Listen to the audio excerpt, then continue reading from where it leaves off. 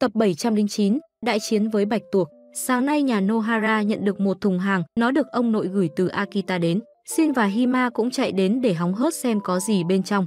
Ba mẹ con đều nghĩ đó là cá, nhưng lúc mở nắp thùng thì có sinh vật gì đang lúc nhúc trong túi vải. Mẹ cẩn thận mở túi ra, ôi thôi đó là một con bạch tuộc siêu to khổng lồ. Ba mẹ con thấy con bạch tuộc to quá thì sợ muốn tè cả da quần. Lúc này điện thoại vang lên, ra là ông nội gọi đến hỏi nhà Shin đã nhận được bạch tuộc hay chưa. Cu Xin nghe đấy là ông nội thì nhảy cẫng lên đòi nói chuyện với ông. Hai mẹ con lo tám với ông nội mà không biết rằng con bạch tuộc đang bò ra khỏi thùng. Cô bé Hima thấy bạch tuộc đến càng gần thì sợ hãi vội vàng bò lên bàn. Sau đó con bạch tuộc bẻ lái bò vào phòng bếp. Mẹ và cu xin buôn dưa lê với ông nội xong quay lại hốt hoảng không thấy bạch tuộc đâu nữa. Xin lần theo dấu vết phát hiện con bạch tuộc đã bỏ vào phòng khách. Hai mẹ con xin đi theo vào thì bị mất dấu vết. Thấy Hima đang nằm co rúm trên bàn, cu xin hỏi cô bé bạch tuộc ở đâu rồi. Cô bé run rẩy dùng chân chỉ vào phòng bếp. Mẹ và xin nhanh chóng vào phòng bếp để tìm. Mẹ dặn xin nếu thấy thì phải bắt lấy nó, nếu để nó bò ra sau tủ lạnh thì sẽ rắc rối. Chỉ thấy xin há hốc mồm rồi hét lên, mẹ chưa hiểu chuyện gì thì xin chỉ ra phía sau lưng mẹ. Mẹ nhìn thấy cảnh tượng bạch tuộc đang bò trên cửa thì cũng sợ đến xanh mật, vậy là cuộc chiến với bạch tuộc bắt đầu. Bạch tuộc thoăn thoát bò vào trong tủ đồ, xin bất lực hỏi mẹ giờ phải làm gì. Xin vào bắt nó thay mẹ nha, chứ mẹ nhìn nó cứ lúc nhúc mẹ sợ quá. Hết cách cu cậu đành phải bò vào tủ mà chiến đấu với nó. Cu cậu thấy tiếng động thì chui sâu vào trong để tìm kiếm, bất ngờ bị bạch tuộc đánh úp xịt mực vào mặt. Cô cậu hoảng quá hét lên, mẹ ở ngoài nghe vậy liền vội mở tủ ra để tiếp ứng, đen thay đống nệm phía trên rơi ra đè hết lên người mẹ. Xin mắt nhắm mắt mở leo ra tuyên bố đầu hàng, nhưng mà nhìn quanh không thấy mẹ đâu, ra là mẹ đang bị đống chăn nệm đè lên. Mẹ ngóc đầu dậy bực bội hỏi ai đã gấp đống chăn nệm lộn xộn thế này. Chưa kịp nói xong thì mẹ tự vả vào mặt khi nhớ ra chính mình là người gấp nó. Xin cũng đến cạn lời với mẹ mà, mẹ động viên khích lệ xin hãy chiến đấu với con bạch tuộc thêm một lần nữa. Lần này xin được mẹ lên đồ là một chiếc đèn pin, thấy bạch tuộc thì xin chỉ cần đẩy nó ra còn mẹ sẽ ở ngoài tiếp ứng. Xin hừng hực khí thế bò vào trong, bò qua chứng ngại vật thì cu cậu chuẩn bị vào sâu bên trong, đang chuẩn bị đáp đất thì cậu thấy có gì ở chân. Xin nhìn xuống con bạch tuột bất ngờ túm lấy chân cu cậu rồi kéo vào trong. Mẹ nghe tiếng hét thảm thiết của Xin, ngó vào trong thì thấy Xin đã bị con bạch tuộc úp sọt hạ đau ván. Mẹ cầm cái nồi thủ sẵn đợi bạch tuộc bò ra để hốt chọn nó. Đợi mãi không được mẹ liều mạng tay không bắt địch, thò tay vào trong thì đứng hình mất 5 giây. Xin nhân lúc đó phóng ra ngoài, mẹ nín thở rút tay ra mém té xỉu khi con bạch tuộc đang cuốn chặt lấy tay mẹ. Mẹ la hét, mẹ vùng vẫy nhưng nó càng cuốn chặt hơn. Hima nghe tiếng la hét thảm thương của mẹ thì bò vào xem. Xin ở bên trấn an mẹ hãy nghĩ đến món sasami, nghĩ đến nồi lẩu thơm nức vào tối nay đi mẹ. Được xin khai sáng mẹ can đảm dùng tay còn lại tóm lấy bạch tuộc, nhưng nó lại phản công xịt mực vào mặt mẹ rồi nhanh chóng chạy về phía Hima. Xin dùng tấm thân mình chặn bạch tuộc lại, nhưng với sức chiến đấu hạng bét của cậu thì nhanh chóng bị bạch tuộc hạ đo ván trong một nốt nhạc rồi nó nhanh chóng đuổi theo Hima. Hima dùng hết sức bình sinh để trốn thoát nhưng vẫn bị bạch tuộc dùng xúc tua túm lại. Bạch Tuyết nghe tiếng hét thất thanh của Hima thì chạy vào cứu viện, xin nhanh chóng cầu cứu Bạch Tuyết. Xin và Bạch Tuyết cùng phối hợp tạo vòng vây để không cho Bạch Tuộc trốn được. Mẹ sau khi hoàn hồn lại cũng nhanh ra để tiếp ứng cho hai cu cậu. Cuộc chiến ngày càng trở nên cam go, lần này chắc chắn sẽ thành công úp sọt nó. Đếm ngược 321 thì cả Xin và Bạch Tuyết cùng lao vào khô máu với Bạch Tuộc. Mẹ Misae ở ngoài đợi để tiếp viện, ngó xuống bàn thì chỉ thấy ba đứa đã bị Bạch Tuột hạ ao trình. Mẹ thấy tình hình không ổn thì lật bàn lên để giải cứu bọn nhóc. Mẹ lấy hết can đảm để kéo Hima và Xin ra trước. Đến lượt Bạch Tuyết thì con Bạch Tuột đã dùng xúc tua tóm lấy hai tai của nó, làm Bạch Tuyết đau quá chạy loạn khắp nhà, sau đó Bạch Tuyết phóng ra đường. Lúc này bố Hiroshi đang vui vẻ đi làm về thì thấy mẹ và Shin đang đuổi theo Bạch Tuyết chạy tán loạn. Bố chố mắt nhìn thật kỹ thì thấy chiến thần Bạch Tuộc đang ở trên lưng Bạch Tuyết, mẹ hét lớn nói bố hãy chặn nó lại. Mặc dù chưa định hình được chuyện gì nhưng bố vẫn nhanh nhẹn cúi người xuống dùng chiêu dép thần trường ném về phía Bạch Tuột. Mùi thối từ giày của bố Herso khiến con Bạch Tuộc bất tỉnh nhân sự luôn. Theo như dự đoán của cu cậu xin thì mùi thối từ giày của bố có thể hạ gục bất cứ sinh vật gì ngửi thấy ngay lập tức. Bố ở ngoài vẫn chưa hiểu chuyện gì đang xảy ra. Tối hôm đó cả nhà Nohara cũng được một bữa no nê từ Bạch Tuộc. Bạch Tuyết đáng thương vẫn chưa thể hồi phục thể lực sau khi được ngửi mùi thối từ giày của bố. Ở ngoài tiếng chuông cửa vang lên là đơn hàng từ Akita. Ông nội gọi đến nói rằng ông đã gửi cho nhà xin ba con cua to nhất và tất nhiên nó vẫn còn sống mãnh liệt. Mẹ nghe thế thì rén ngang. Xin tò mò đứng xem trong thùng hàng là gì, chưa kịp mở nắp thì đám cua đã tự phá bể nắp rồi nhìn xin với ánh mắt hình lựu đạn. Lúc này chỉ nghe tiếng hét thất thanh của mẹ và xin vang lên. Các bạn ơi, hãy dành ra 5 giây để like và đăng ký kênh giúp mình nhé. Cảm ơn các bạn rất nhiều. Tập 248, P3 Komichi và chú Ioshirin đến sống bên cạnh. Tối nay, lại như bao tối khác, bố ngồi đọc báo, còn Hima thì xem phim ngôn tình hàn sẻ. Nhìn anh trai và chị gái ôm nhau tình cảm mà Hima cảm lạnh quá. Lúc này, mẹ cũng đưa một đĩa dưa hấu thơm ngon mời cả nhà. Vậy là hai bố con xin lại muốn sơi ngay. Còn Hima thì cứ ngồi ôm gấu bông bắt trước anh chị hàn sẻ. Mẹ thấy mấy chương trình này tào lao quá nên chuyển kênh khác. Nhưng kênh này còn ôm nhau giữ hơn nên mẹ muốn xỉu ngang luôn. Mẹ không hiểu tivi dạo này bị gì nữa. Bố thấy mẹ nên đổi qua kênh khác và lần này là một cảnh nóng bỏng. Vậy là mẹ nổi điên cho bố một trận vì toàn suối bậy thôi.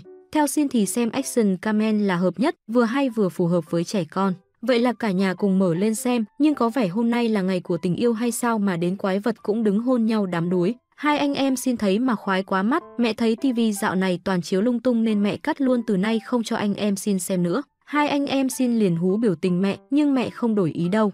Vì ngày mai bố có việc sớm nên bảo sẽ đi ngủ sớm. Sáng hôm sau, hai anh xin gọi mãi mà mẹ vẫn ngủ say như chết. Vậy là hai anh em xin cười nham hiểm, cơ hội đến rồi. Hai anh em liền ra bật tivi lên xem. Và cảnh đố anh bắt được em xuất hiện trên tivi. Chị gái này cảm lạnh quá nên người mù tạt tìm nước mắt. Vậy là hai người ôm nhau thắm thiết, hai anh em xin ngồi xem mà sướng hết cả người. Tự nhiên mẹ lù lù đằng sau bắt được quả tang rồi cho cả hai một trận tơi bời. Giải quyết xong hai đứa con trời đánh, mẹ lại vào than thở với bố, không biết sao dạo này tivi toàn chiếu phim 18 cộng vậy không biết. Bố đoán chắc là mấy ngày nữa sẽ hết thôi. Vậy là mẹ nằm xuống ngủ tiếp, nhưng lại nghe tiếng ai thủ thỉ. Cứ nghĩ là hai danh con lại lén mở ti ti xem nên mẹ sồng sộc xông ra, nhưng ở đây là vườn không nhà trống mà. Vậy là mẹ mở cửa ra ngoài kiểm tra thì thấy hai anh em xin đang cõng nhau hóng chuyện ngoài đó. Thì ra có một cặp đôi xến xúa sẽ làm hàng xóm mới của nhà xin.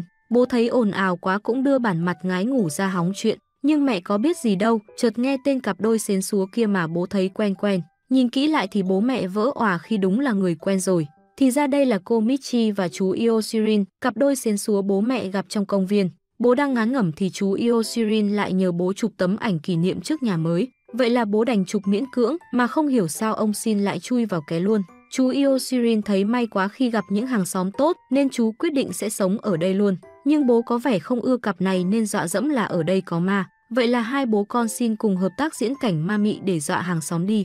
Mẹ Misae nghe mà lạnh cả người, nhưng mà chỉ dọa được mẹ thôi. Vì chú Iosirin và cô Michi lại rất thích phim kinh dị, chán quá bố đành vào nhà. Còn Xin thì nhảy nhót vui sướng vì từ này được xem ngôn tình ngay trước mắt mà không cần phải xem tivi. Cả Hima cũng rất đam mê, còn mẹ thì bất lúc với hai hàng xóm mới và hai đứa con luôn. Các bạn ơi, hãy dành ra 5 giây để like và đăng ký kênh giúp mình nhé. Cảm ơn các bạn rất nhiều. Tập 1211 P2, cô Ageo và chuyến thuê nhà bất ổn. Cô Ageo đang đi trên đường thì bị hấp dẫn bởi cây thực vật săn mồi ở trong một văn phòng môi giới cho thuê nhà. Cũng không biết là sự mê hoặc nào làm cô chìm đắm vào đó mà không rời mắt được. Cùng lúc này ông chú môi giới cho thuê nhà nhìn thấy cô, có vẻ thì lần này mình săn được con mồi béo bở rồi đây như một cơn gió thì ông chú đã lân la đi tới chỗ con mồi của mình. Đầu cô chưa kịp nhảy số thì ông môi giới đã kéo cô vào rồi thao thao bất tuyệt giới thiệu về căn phòng cho thuê của mình mặc cho cô giáo ngồi đơ như bức tượng sáp. Cũng không biết từ đâu mà ông tướng xin nhảy ra giới thiệu mình 5 tuổi với căn nhà còn 32 năm trả góp. Ông chú còn đang ngáo ngơ thì cô Ageo giới thiệu cậu là học trò siêu quậy tại trường mẫu giáo. Vậy là chuyến xem nhà bất ổn của cô Ageo có thêm sự đồng hành của tên nhóc siêu quậy xin. Theo như lời ông chú thì căn hộ cách nhà ga có 5 phút đi bộ, nhưng Lết muốn gãy cái giò tận 30 phút vẫn chưa đến. Giờ Lết không được nữa thì cu cậu xin trổ tài đi bằng cặp mông này nở quyến rũ của mình cho ông môi giới và cô giáo xem. Theo như lời ông chú thì đây sẽ là một khu nhà khang trang sạch sẽ nhưng mà nó lại trông không khác gì tòa lâu đài ngủ quên thế này. Căn hộ cô Ageo xem ở tầng 5 và tất nhiên sẽ không đi bằng thang máy mà sẽ phải leo cầu thang bộ sấp mặt, cô Ageo than thở. Đi xem nhà mà như đi hành xác thế này, thế là ông chú chữa cháy rằng leo thang bộ là cách để tập thể dục nâng cao sức khỏe. Đang hồ hởi leo nhiệt tình thì ông chú đứng hình khi thấy có khỉ trên lưng. Ra là cu cậu xin đã nhảy tót lên lưng ông chú thể dục thì phải gánh thêm tạ chứ chú ơi. Ông chú cay lắm nhưng mà nghĩ đến con mồi béo bở của mình thì cũng bất đắc dĩ mà cõng cu cậu vậy. Bước vào căn hộ, ông chú môi giới lại tiếp tục thao thao giới thiệu về căn hộ, xin thấy nơi này thật là rộng rãi thế là cậu ta không ngần ngại mà bày trò chảy nhảy. Vừa nhảy lên sàn thì trên trần nhà cũng rung lắc theo. Lúc này thì mặt cô Ageo đã tái xanh lại rồi. Tiếp tục đến khu bếp nào chưa kịp giới thiệu đến chiếc bồn rửa chén thì thế quái nào ông tướng xin đã nằm gọn ghẽ ở trong. Ông chú dẫn cô Ageo đến xem nhà vệ sinh thì thấy cụ cậu xin đang ngồi dặn toát hết mồ hôi. Cô Ageo cũng không quên mà khuyến khích cậu dặn cho bằng được. Tức sôi máu lắm nhưng mà ông chú môi giới vẫn phải nín nhịn. Đây là bồn tắm với chức năng tự lấy nước. Xin cũng cầm theo nồi cơm điện giới thiệu nó dùng để nấu cơm, ông chú cũng cạn lời với cậu mà. Khi đã giới thiệu xong hết một lượt rồi thì ông chú nhanh nhẹn mang hợp đồng ra để cô Ageo ký tên. Đang suy nghĩ thì cu xin mở cửa sổ ngắm đàn quạ đen đứng bên ngoài. Cũng không thể hiểu nổi sở thích quái đản của cô Ageo khi cô lại thấy quạ dễ thương cơ chứ. Vậy là hai cô trò liền lấy chiếc iPhone 5 giây ra selfie. Vừa hay lúc này đoàn tàu phía dưới vừa chạy ngang qua, căn hộ cũng bắt đầu rung lắc theo kèm thêm khuyến mãi của vụn xi măng từ trần nhà rơi xuống. Lúc này thì ông chú môi giới cười chữa cháy rằng nó chỉ rung lắc khi có đoàn tàu chạy qua thôi còn lại rất yên tĩnh. Hàng xóm ở đây cũng rất lịch sự nhã nhặn. Vừa dứt câu thì nghe thấy tiếng boxing, tiếng chén bát rơi vỡ từ phòng bên cạnh. Ông chú môi giới hớt hả chạy sang năn nỉ hai vợ chồng hàng xóm hãy dừng cuộc chiến và giữ im lặng. Cuối cùng thì cũng đã ổn định được ông môi giới nó chỉ là cuộc ẩu đả nhỏ thôi và tất không phải lúc nào cũng xảy ra. Bây giờ thì mời cô Ageo ký vào hợp đồng thuê nhà thôi nào. Bất ngờ ông tướng xin thấy trên trần nhà có hình một ông già trông rất giống ông nội của mình. Ông chú cay cú xin lắm rồi đấy nhưng mà vẫn dáng cười nói rằng đó chỉ là vết nước mưa tạo thành thôi. Không biết tâm linh kiểu gì mà vừa dứt lời thì ngoài trời đổ mưa, cái hình ông già trên trần cũng dính mưa. Nước nhỏ ra từ hai con mắt xuống sàn nhà. Ông chú với xin chạy quán đít tìm xô để hứng nước. Chắc hẳn là ông già ở trên trần đang có chuyện buồn chăng. Ông chú môi giới cười trừ rồi nói sẽ sửa lại trần nhà thật chắc chắn. Cô Ageo thấy nhà gì mà rột, lại còn nghe tiếng tàu. Nhưng mà có vẻ rất thông thoáng, lại còn ẩm ướt, trông cũng rất ma mị. Ước gì có chú ốc sen nữa thì quá là hoàn hảo. Vừa dứt lời thì xin háo trang thành chú ốc sen trườn ra, chú môi giới hoảng quá ngã ngửa ra sau. Vậy là nguyên bực tường sụp xuống trong sự ngơ ngác của cặp đôi phòng bên, cô Ageo thấy tường gì mà mỏng như là lúa. Cuối cùng hai cô trò dắt díu nhau đi về, chứ phòng vậy cho không cũng không thèm ở chứ ở đó mà ký hợp đồng thuê. Ứ,